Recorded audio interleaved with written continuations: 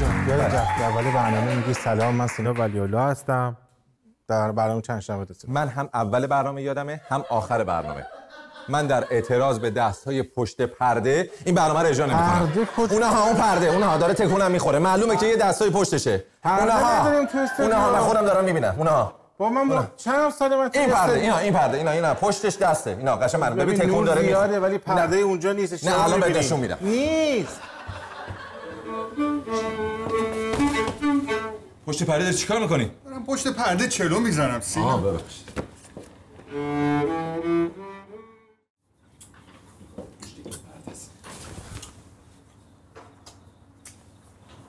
داری چیکار می‌کنی پشت این پرده؟ دارم پشت پرده بستنی می‌خورم. ای بابا.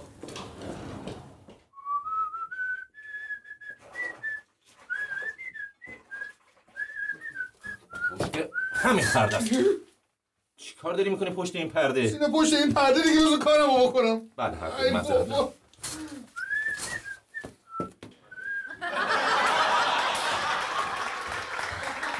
خب پشت پرده چه خبری؟ ها؟ پشت پرده چه خبر بود؟ پ- پشت پرده مهم نیست که چه خبر بوده. مهم اینه که من درست میگم و همیشه حق با منه. مهم اینه. حرف نزن. خواهش می‌کنم برو مزاحمت ایجاد نکن. خواهش می‌کنم. حق همیشه با ماست و ما همیشه درست میگیم. این نکته ایه که باید همه آویزه گوششون بکنن. این گوشواره. و در واقع اگر احیانا این قضیه خلافش ثابت شد یه اتفاقی افتاد. شرایط بر وفق مرادمون نب- نبود. نتیجه اونجوری که می‌خواستیم نگرفتیم فقط یک دلیل داره. اونم اینه که حقمون رو خوردن. چون محال ما اشتباه بکنیم و حق با ما نباشه. تموم شده رفت. مثلا اگه توی یک مسابقه ورزشی ما شکست خوردیم دلیلش تمرینات بد و غلط نیست. حقمون خوردن. اگر احیانا کنکور شرکت کردیم دانشگاه قبول نشدیم دلیلش دور دور و خوابیدن پای اینستاگرام و فیسبوک نیست. حقمون خوردن. این یک واقعیت و حق خوری یکی از اتفاقها و ظلمهایی که از کودکی به ما روا داشتن و همیشه و همیشه در زندگی ما به صورت مستمر مستتر بوده. بلنج زبون گرفت. خدمتتون عرض کنم که برای من براتون به صورت زنده مثالی رو اجرا می‌کنم. شما خودتون ببینید و قاضی این روایت باشید در واقع. فرض بگیرید یک مسابقه استعدادیابی یک جوان با استعداد هم توی مسابقه شرکت کرده و آهنگی رو داره می‌خونه.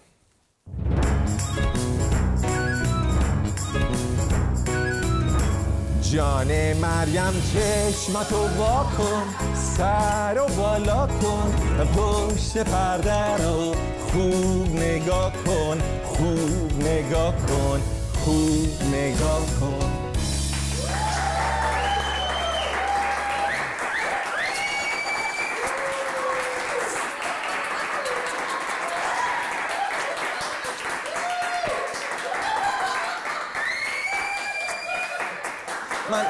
من واقعا از همه شما به خاطر اینکه این فرصت رو به من دادید که من بتونم اینجا آهنگی رو که همیشه دوست داشتم برای 6 میلیارد و 80 میلیون نفر اجرا بکنم رو این فرصت رو به من دادید که اجرا بکنم. آهنگ استادم بود که به هر حال خیلی خوشحالم. از شما خوشحالم.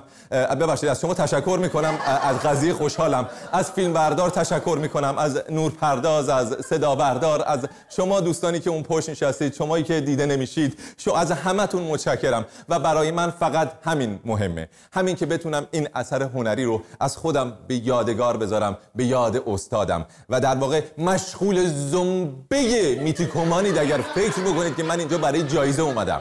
جایزه اصلا برای من من فقط اینجا اومدم کارهای نو بکنم. از خودم چیزی رو به یادگار بذارم. و همین برای من همین مهمه. فقط می‌خواستم ازتون تشکر کنم. واقعا فرصت خوبی رو به من دادید. تمام کنم تمام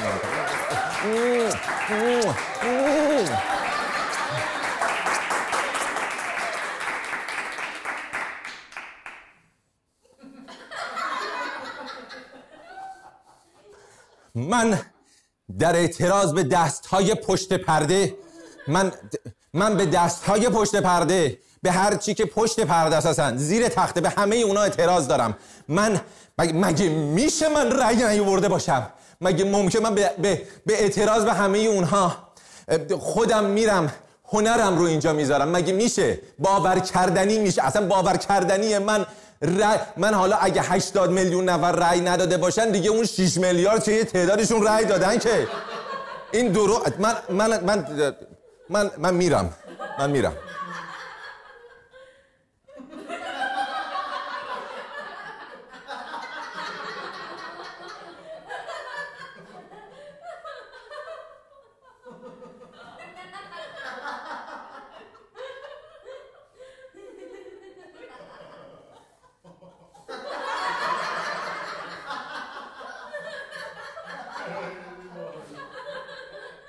من از این استودیو میرم.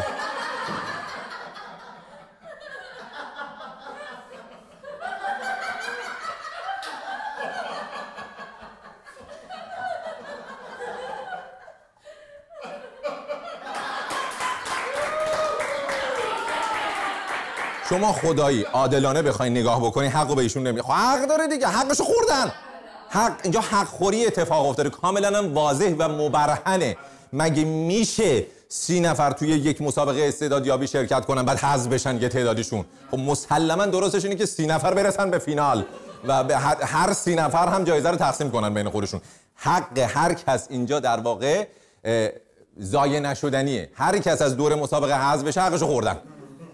دستای پشت پرده است یه دستای پشت پرده است که این حقا رو همینجوری پاره پوره می‌کنه مثل بلیط اتوبوس میره تو و این یک واقعیت انکار ناپذیره خدمتتون عرض بکنم که حالا من جدا از این قضیه حق کشی یک نکته ای رو اشاره کردم اونم استعدادیابی بود. می‌خواستم بگم فکر نکنید ما فقط استعدادمون در زمینه موسیقی و دیگه خوندن و این چیزاست. ما استعدادهای نهانی داریم که هیچ وقت رو نکرده بودیم. یعنی اصلا زیادم راجع به صحبت نمی کنیم به خاطر اینکه نمی‌خوایم تقریبا چجوری بهت بگم ریا بشه. نمی‌خوایم مثلا کشوری در همسایه حسودی بکنن هرس بخورن مثلا از هرس و عصبانیت برن مثلا واسه مردم خودشون به زبون خودشون فیلم و سریال بسازن که بنیان خانواده ما رو خراب کنن. چون اینا چشم دیدن موفقیت های ما رو که ندارن. برای همین ما رو نمی‌کنیم خیلی از این استعدادا رو.